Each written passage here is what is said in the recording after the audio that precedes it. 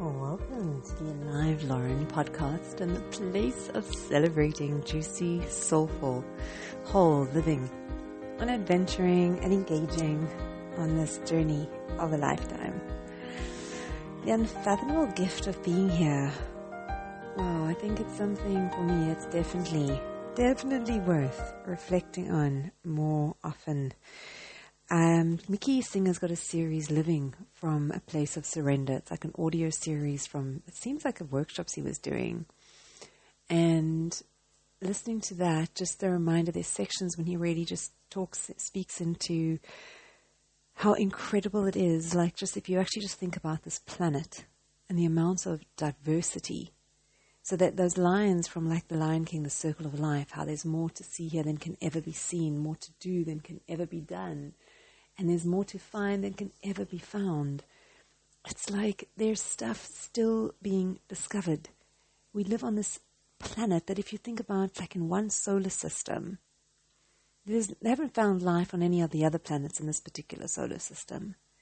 And then you're looking into other galaxies and universes and an infinity of space that's ever expanding.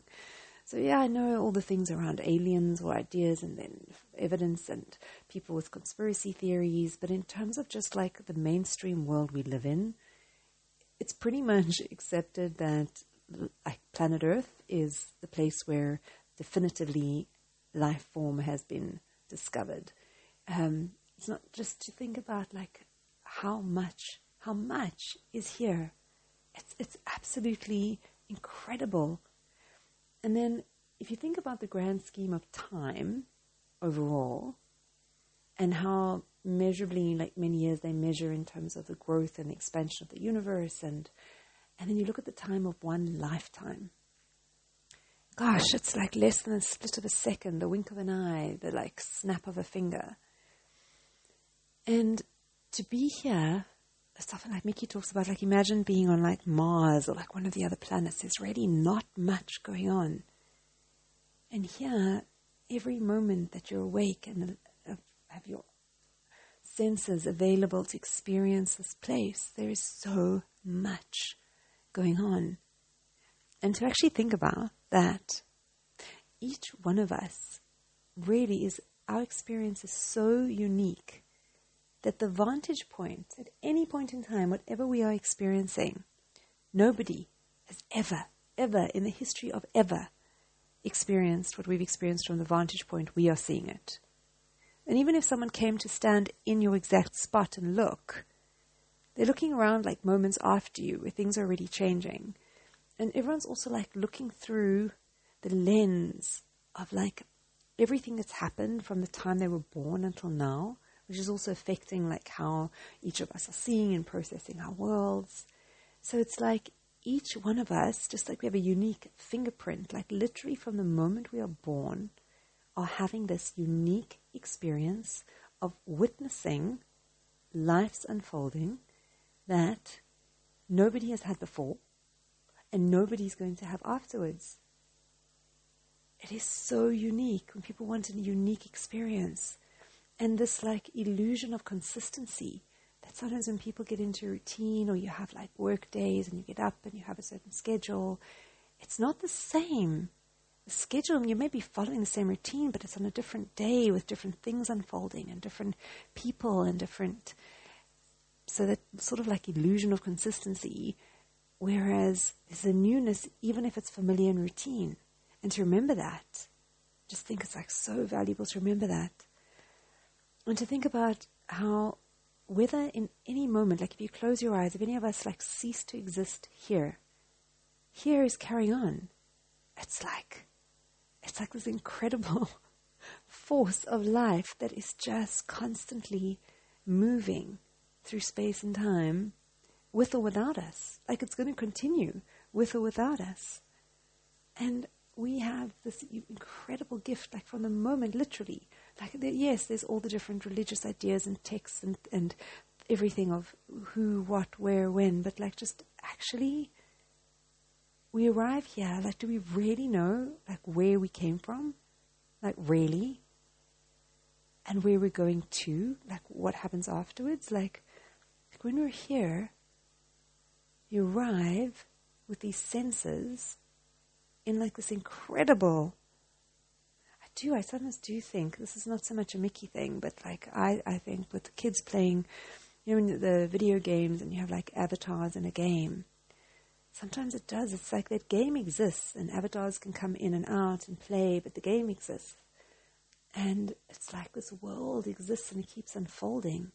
And we have these avatars. God, I remember when my kids used to play this one and they would assume like a new avatar and then it would like jump out of a plane and parachute down and land somewhere on this island. And it's like our souls, kind of like the essence, the awareness that animates and is aware of being aware, like enters here in this body that is like so complex. It's insane how complex it is, and we use it without a blink of an eyelid of like, we have no awareness around constructing it, repairing it, like, yes, so over time, sort of discovering things around health and wellness and food and diet and exercise, and obviously things that are better for maintaining this vehicle and things that are more detrimental to its health and well being. But I mean, it's like when I think about like I use a cell phone, I have no idea where to begin in even like creating one and putting one together and inventing one and all the different things. And I remember when touch screens came in, like it was like the most I couldn't understand. Like how? How by like fingers touching on a screen, how is this replacing a keyboard? Like I just don't understand. I haven't to this day looked into it, but still it's like so remarkable how we can access and use stuff that is so complex and have no clue, be clueless like our bodies. Just in every moment, yes, yes, even doctors, like, yes, you can start studying how things work and what animates what and what triggers what. But the scale at which it's going on in every instant, seamlessly, effortlessly, gracefully, my God, like when I've injured my knee recently, and everything that is going on, I must have wreaked incredible havoc on a cellular level, like in like a kind of like earthquake or tsunami with everything that I kind of like ripped or tore. And without me lifting a finger, my body is just dealing with repair and reconstruction. God, it actually starts to become, it is, it's like, it's really this unfathomable gift of being here. And not only do we experience through senses, we have, we experience through emotions, we experience thoughts, we have things that we experience on the outside, things that we experience on the inside. Wow, wow, wow. So it was just all of this that came up yesterday through just listening in the background that seminar and then yeah there was a cute one because i remember this thing with Mooji saying something about like imagine living as if you are the awareness behind just like a pair of eyeballs um, like floating through space. And gosh it really it's kind of incredible because we, the fact that we have this awareness to perceive it all, and sometimes just to remember and reflect. For me, I find it really valuable to have touch points in the day of really just reconnecting to the fact that, oh my God, for like the blink of an eye, I'm on this planet of such rich diversity where I've been gifted this incredibly complex avatar that can just do and experience so much Wow. Yeah, Mickey often talks about the world sort of being God's Disneyland. Um, and it's just it's such a beautiful, powerful analogy, I find, in terms of like, just we are gifted the opportunity of experiencing. Like when you go and you experience Disneyland, it's there. It's moving, it's continuing, it's every day it'll operate whether you're the visitor or not.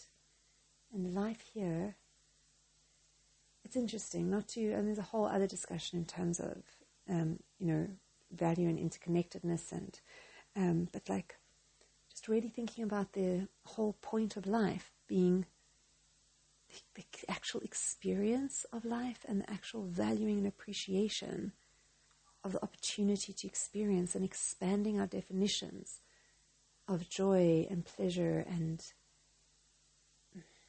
yeah I know it may sound a bit crazy and upside down, but like, but that like there is a joy and a pleasure even in in in grief and sorrow and pain for the fact that it's possible to experience them.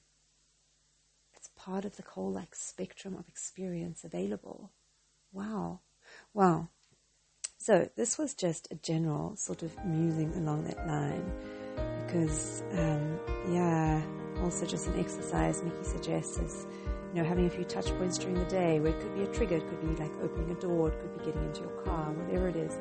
And just for a couple of moments, just to remember that we're on a planet, spinning around a star, hurtling through space.